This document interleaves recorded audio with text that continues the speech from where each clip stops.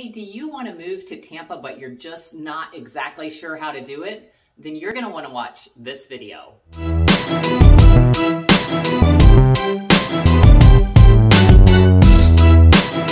Hi everybody, thanks for tuning into my channel, Living in Tampa, where it's my goal to show you everything you need to know about eating, sleeping, playing, and living in the greater Tampa Bay area. Hey, if it's your first time to my channel, could you do me a big favor? Hit that subscribe button, ring the little bell so you'll be notified every time that I release a new video. So today's video is going to be a little bit different. I'm going to be interviewing my mortgage lender that I work with on a regular basis here in the Tampa area. We are going to be going over the ins and outs of how exactly you can make that move from wherever you are to the greater Tampa Bay area. I get so many people calling me every day with questions about moving to Tampa, and I absolutely love it. And one of the main questions that I get asked is, how do I actually do this? Like, I have a house here, I you know have a job here i'm in the process of you know making that transition and i'm not exactly sure what order the steps I need to take need to be taken in, what makes sense for me, what I can do financially, and just how to go about making it all happen.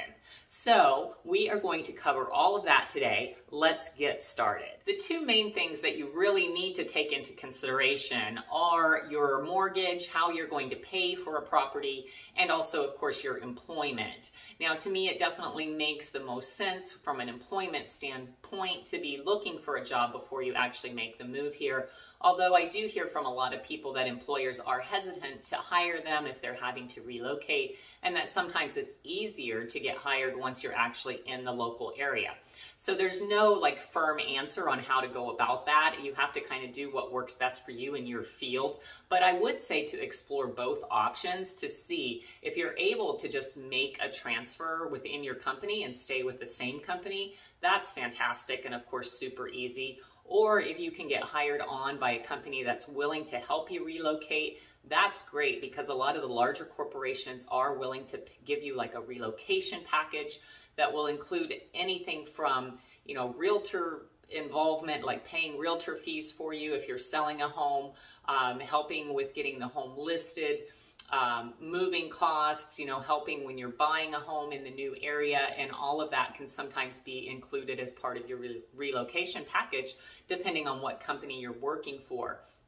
Also, another thing to consider might be to see if you could work remotely. Now, ever since this coronavirus, that is one thing that has been a good outcome of this pandemic is that a lot of people are able to continue to work remotely, and therefore you can pretty much work wherever in the world you want to. Uh, the catch to that would be if you are getting a mortgage, that is something that you are going to have to have documented from your employer that it is okay for you to continue to work remotely. So that would be another thing to take into consideration. And last but not least, of course, would be going ahead and making the move here maybe getting into some type of temporary living situation uh, while you look for employment. And once you have secured that employment and have your offer letter and know exactly what your pay is going to be, uh, it might be a little bit easier then to uh, you know continue with a home purchase. But I would encourage you not to lock yourself into a long lease because that is very confining, very restrictive. And if you do get hired pretty quickly and you end up having to pay rent for an entire year at these inflated rent prices, you're not going to be happy about it. The main topic that I want to cover in today's video though is how to actually go about financing a home once you move to the Tampa Bay area. Now there's a lot of different ways to do that and that's why I wanted to bring in an expert in that field. So today I'm going to have Christine Wilson with me from the mortgage firm and I'm going to be doing this via a Zoom interview with her. I'm going to be asking her a lot of questions that I get from a lot of customers that are making the move and I hope that you're going to find this useful. So let's get started with that. Okay, guys, so here I am with my preferred lender, Christine Wilson, with the mortgage firm, and she has graciously agreed to give us a few minutes of her time today so we can talk about this uh, issue that I always get asked. I always get asked, how should I go about financing and paying for my property when I'm relocating from another state or even another city to the greater Tampa Bay area? So, Christine is going to go over just a few alternatives, things that might work for you depending on your situation. And uh, of course, if you need more detail, we're always available, just a phone call or an email away, and we're happy to help. So, the first um, kind of option that um, people may not be aware of is that you may be able to qualify for a home here, even though you still own a home there. Can you kind of go into that a little bit for me, Christine? Yes, um, we get this so often where people are under the impression uh, they've talked themselves into that they won't qualify um, with the payment counted against them. And it's so interesting. I say, well, let's just try it. Let's just see what the numbers look like. And I would say probably eight times out of 10, they qualify with both payments counted against them. And so um, if that's possible, or maybe we need to add somebody, you know, maybe add the wife or the husband or spouse or something onto the loan where before they didn't have them on the loan. And so we just look at the whole picture. And if you look at the whole picture, it might just qualify and you don't have to worry about it. Now, the time when that you don't qualify with two payments, because there's two ways you have to qualify with your debt to income ratio and you have to qualify with the money coming out of the house. Now, if you need to sell that house in order to get the the money out, then we might have to look at other options to how to get the money out. And then we're going to, you and I will be going through um, some other options on how to get the equity out. But if you have the money already, a lot of times this is the situation. I've had this example happen. They, they know they have about 20% equity to put down on the new house, and they're kind of fixated on making sure that they do the 20% um, to put down that when they sell the house and i say well do you have 5% in the bank maybe to put down um, instead of the 20% and then we can qualify you on both on both payments. Oh yeah. Because a lot of times especially in this market with interest rates so low um, if they talk to their financial advisor, the financial advisor might even say, no, no, no, no, don't put down 20%, put right. down 5% because you're paying such low interest rate and go and invest the money because you're making like six or 7% in the market or whatever it may be. You're making more in the market than you, than you are with the interest rate. True, true. And a lot of people get fixated on that 20% because they want to, you know, avoid that mortgage insurance. Uh, and, and so, but there is a way to get around that later too, right, Christine? Yeah, yeah, yeah. yeah. I, I always I like the 10%. You can pay mortgage insurance upfront, like a one-time upfront fee, instead of paying it on a monthly uh, period of time where it kind of honestly it kind of bugs people just to see it on their statement. right. and so and then or so you can pay it as an upfront fee. You can also do a lender um, a lender. It's called lender paid mortgage insurance. So three ways, just to sum that up. You can pay mortgage insurance monthly, um, which most people don't enjoy, but you get the benefit of using that, that extra 15 or 10% money in the in your bank where you don't have to put it down on the house. Because once you put it down on a house, it's in the house. It's in that house bank account, which is really hard to get that money back out of. I always tell people be very careful um, of what you're going to be putting down on the house because it costs a lot of money. It's pretty arduous. And I love that word because it says exactly what it, it sounds exactly how it is. Is and it's very arduous to get your money back out, you know, but when it's in a checking and a savings account, pretty easy to get back out if you need it. So true. true. So yes, and then so to sum up, monthly mortgage insurance, you have um, it's called upfront mortgage insurance or one time uh, they can just pay it. It's just a one-time fee. You're just kind of buying out. The numbers usually work where you're buying out about three years of worth of monthly mortgage insurance. Those are usually the numbers. Um, and then, then the lender paid mortgage insurance. And you've heard of this maybe where the interest rate's higher and they say, oh, there's no mortgage insurance. You can put 5% down with no mortgage insurance. The interest rate's just a little bit higher and the lender is paying that upfront mortgage insurance for you. Okay. And so call it lender paid mortgage insurance where the interest rate's a little bit higher. It's still a great deal. I love I love all three options for different reasons. That makes sense. Yeah. So that's for the people that are able to, you know, have that money down and be able to qualify for both payments and everything like that. For the people that cannot do that, mm-hmm. um, there is another option. And sometimes it's actually more advantageous for people to, while they're still in the state that they're in, um, be it California, New York, New Jersey, all the popular places that we've got people moving to Tampa from, they're getting paid sometimes more there than they're going to be paid once they move here a lot of times. So sometimes it makes more sense to go ahead and make that home purchase when they're employed at that previous place. And when they do that, then it's my understanding they would have to finance it as either as a second home or investment property. So right. I was wondering if you could kind of go over those two options, the difference between them and, and what difference it makes to the buyer. So a second home, yes, they could purchase it wherever they might be as a second home or an investment property. Now, it really has to do with the intent. What is your intent on doing in this house? So, and and I would say a majority of it is probably going to be a second home. Hey, we really like to come down there. Uh, we want a, a second home in Tampa. We're going to occupy it. Most of the time, we might rent it out every once in a while, but our primary intent is to occupy it as a second home, not to use it as a full time rental. And so that would be a second home. It requires 10% down, and you do have to qualify with that payment counted against you, the full payment with taxes and insurance and homeowners insurance if there's an HOA. And then the other option is, um, and the second home interest rates are about the same as primary rates, by the way. And so a, an investment property is you have no intention on occupying this property at any time. You intend 100% to, um, to rent it out, either, um, either on VRBO, short-term rental or something like that, or uh, long-term rental in your lease or th- something like that. That's going to require well, technically you can put 15% down, but honestly and truly, nobody does that. The mortgage insurance is outrageous. You have it stays on there for the life of the loan. No one does 15% wow. down on an investment property. It does exist. So I don't want to not ignore it, but most uh, investment properties is a usually a minimum of 20% down. And you do have to have reserves on both of these. Second and investment properties both require you to have reserves in the bank afterwards. We're not going to use the money for the down payment, but you have to have some money left over in the bank. I and see. it just depends on how many other rental properties you have and some other numbers like that. Okay, makes sense. Well, that's a good option for people that maybe, you know, are planning to come here later or just, uh, you know, want to go ahead and, and buy the home. Um, I would say this, I, I would like to put this warning out there. In Florida, our underwriters are smart. And so be very careful because we see this all the time. And I would say be careful of this. If they, they are of the retirement age and we're using income and they can see that you're purchasing a house, in underwriting, the the income that we're using to qualify people has to be regular and reoccurring and needs to be uh, have a continuance of three years.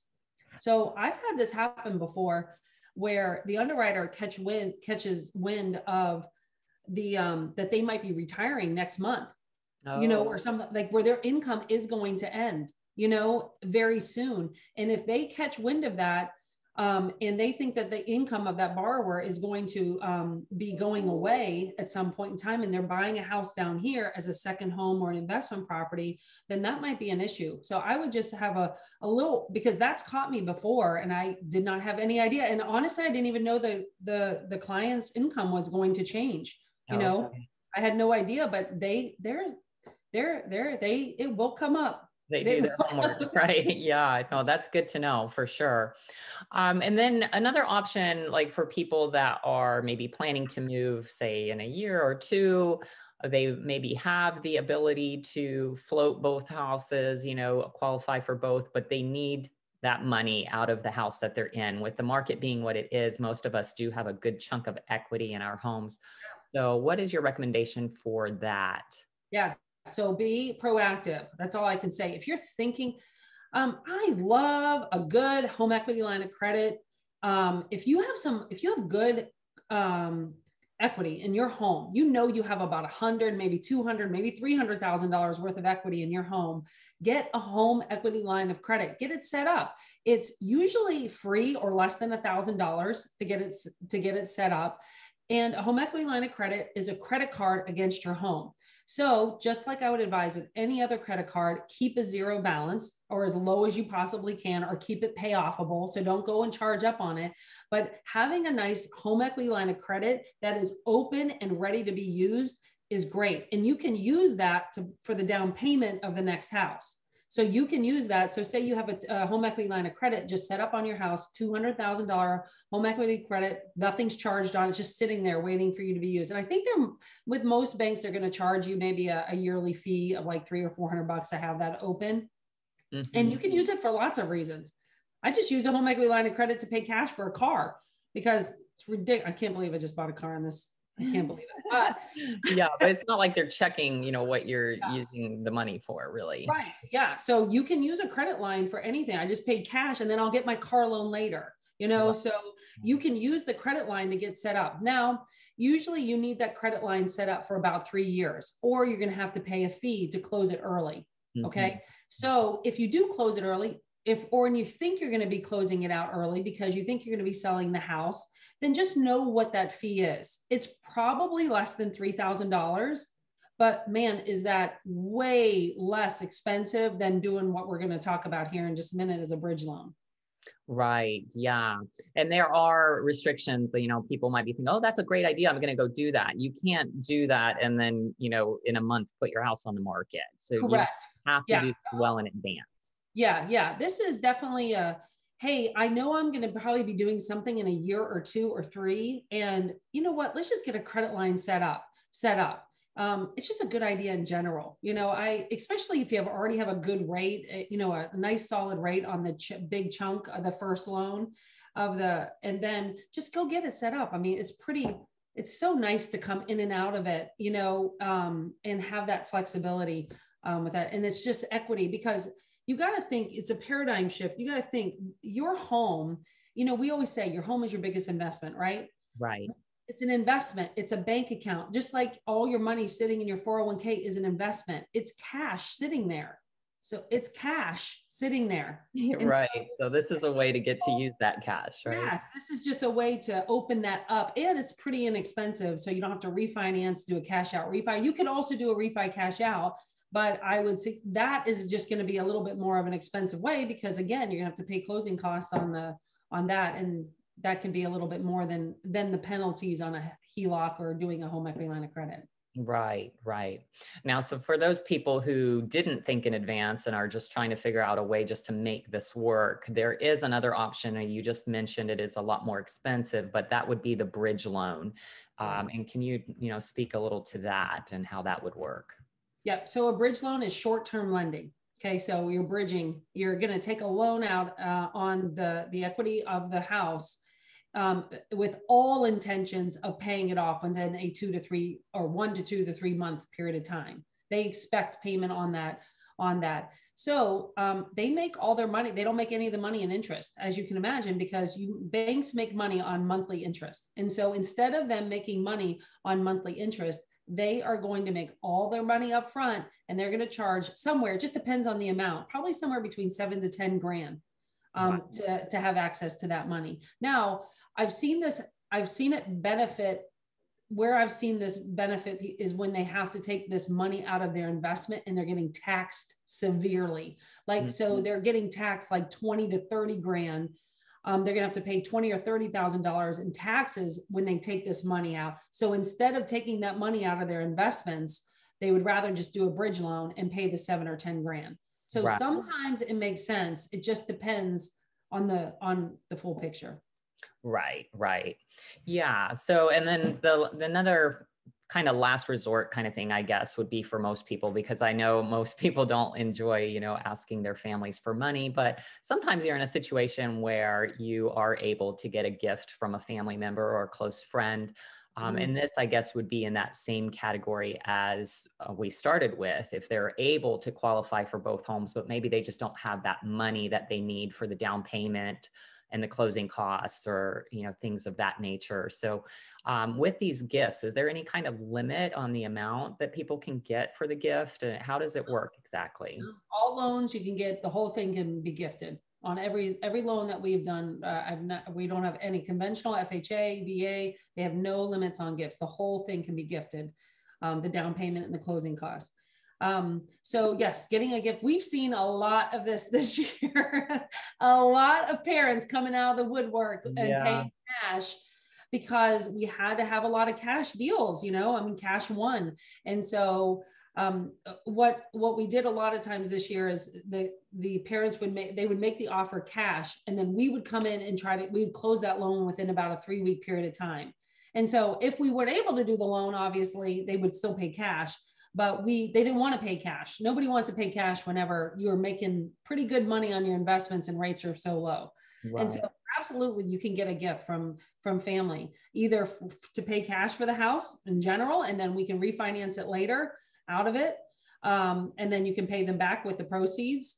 Um, or uh, that's really not, um, you don't really want to do that. Uh, the refi, um, the refi is not, I would try to do the purchase on it in, in the meantime. And it's no extra cost to the seller. You know, if you're no, there's no extra cost to the seller if you're getting a loan. So you make a cash offer and, and, but instead, um, you're going to go ahead and get a loan. The only inconvenience to the seller would be getting an appraisal done if you if if you even needed one sometimes we get an appraisal waiver on those you know because they have a larger down payment on it yeah we have seen more of those. And i'm going to spring one last one on you that just kind of got my wheels turning while we were talking here. And if people aren't able to get the gift sometimes people can take money out of their um, 401k or um, good one. I actually thought about it when we were up here and i'm glad you brought it up. Yes, people forget that they have a 401k that they can borrow against and they can pay it back when they sell the house, you know? And so I always tell people you need to call your 401k and ask them how much you have. But yeah, those have been saving graces as the 401k is just sitting there and um and and they and they didn't even think about that they could borrow against it and um, and then pay it back. But they need to call their they need to call because everyone's 401k is set up differently. So right. So there may be penalties, there may be yeah. you know other things. So that's definitely something people have to investigate on their own. But it's it's just something. Uh, you know another way to kind of make this all work because everyone's situation is unique and we can't speak to everyone's situation, but we wanted to kind of go over the main ways that do make it possible to go ahead and move forward with purchasing a home here, um, even though you may not have sold your residence. Well, I have time bringing another one. I'll spring another one on you. That yeah, just, let's do one more. So one more is especially because um, because of uh, when you're over the age of 59 and a half, you can have access to your um, your uh, to set up monthly distributions of your retirement funds, monies that were in a 401k or in an annuity, you can now set them up because that's what they were there for. They're there. Your 401k and your annuities are there to provide income later on in life, right? That's right. why we. So um, uh, this is also that we've been doing a lot of people because they're not taking distributions out of their out of their retirement account because they don't need them they don't need them because they don't they don't have that extra payment and so when i get a client that's over 59 and a half I always say, well, do you have money in a retirement in an IRA or an annuity? Oh yeah, yeah, I have like five hundred thousand dollars in my in my retirement account. I'm like, oh, um, all right, well, we can set up a distribution um, on that of three thousand dollars. So now we have income coming in, um, income coming in to to cover that new payment. that payment, yeah, payment. yeah. And That's so um, they just weren't thinking about it like that. They were thinking, all I all I have is this income to qualify, but really they had more. I mean, there are some asset depletion loans too that we can do, but that one is super easy. And that one is uh that that one we've used multiple times, especially because a lot of people are buying the second homes down here, you know, in Florida or investment properties or new primary residence. Right, right. That age group. Mm-hmm. Yeah, that's fantastic. Well, good. Well, the point being is there are a lot of different ways to get this done. And what I love about working with Christine and her team is that they do think outside the box. Uh, they've got a lot of solutions for you. If there is, you know, further questions that you guys have, if there are any further questions, don't hesitate to reach out. You know how to get a hold of me. I'm going to put Christine's information up here on the screen as well. And I want to thank you so much, Christine, for your time today. Thank you for flexing to my schedule with my computer problems that I was having today. And I'll um, I'll look forward to getting this on the air. I'll send you a link, and I will talk with you soon. All right. Thanks so much. Thanks. Well, I hope we covered all of the questions that you might have about financing your new home. I know moving to another state or another city can be pretty overwhelming, and I am here to help you. So if you are considering a move to the Tampa Bay area, do not hesitate to reach out. You can give me a call, send me a text, shoot me an email, However, you want to communicate with me is fine. When it comes to moving to Tampa, I'm always available. I've got your back. Hey, do me a favor, hit that subscribe button, ring the little bell so you'll be notified every time that I release a new video. And if you've got any other additional questions, feel free to leave them below in the comments section as well. I'll be sure to answer them as quickly as I can. But again, don't hesitate to give me a call. I'm always happy to speak with people that are considering a move to Tampa. Thanks so much, and I'll see you next time.